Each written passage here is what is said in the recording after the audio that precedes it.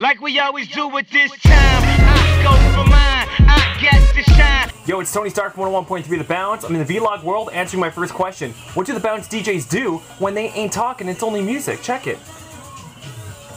101.3 The Bounce, Halifax's new number one hit music station. Danny Fernandes here Saturday night with Karl Wolf and Sean Kingston. The Bounce Winter Break. It's going to be the biggest jam in 2009. We want you there. Info on our website, 1013thebounce.com. Here's Theory of a Deadman, 101.3 The Bounce.